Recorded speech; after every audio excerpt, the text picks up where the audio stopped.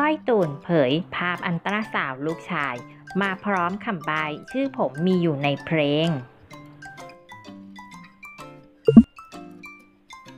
เป็นคู่รักที่แฟนๆ ต่างยินดีและลุ้นตามไปด้วย เรื่องลูกสำหรับตูนบอดี้สแลมและก้อยรัชวิน ที่ก่อนหน้านี้สาวก้อยตั้งท้องได้ 23 สัปดาห์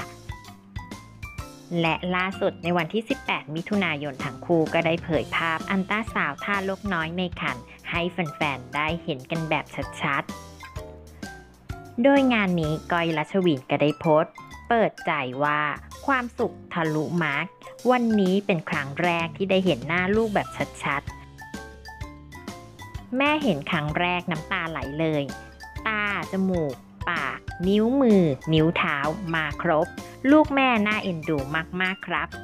คุณหมอบอกหนูโตตามเกณฑ์สมบูรณ์ดี ดูน่าจะเป็นเด็ก active ที่สำคัญหนูโชว์พิกาจูไม่หยุดเลยจ้า เจ้าลูกชาย ว่าแต่พี่ๆ ว่าผมหน้าเหมือนใครครับ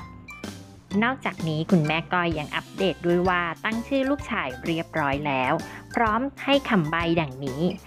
สวัสดีครับ ผมอายุ 23 สัปดาห์แล้วครับ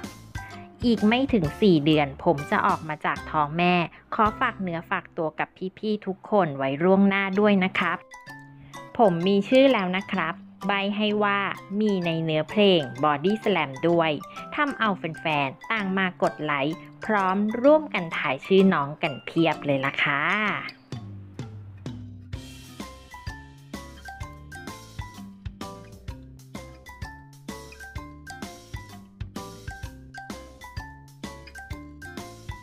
และเพื่อที่จะไม่พลาดคลิปใหม่ๆ อย่าลืมกดติดตามค่ะ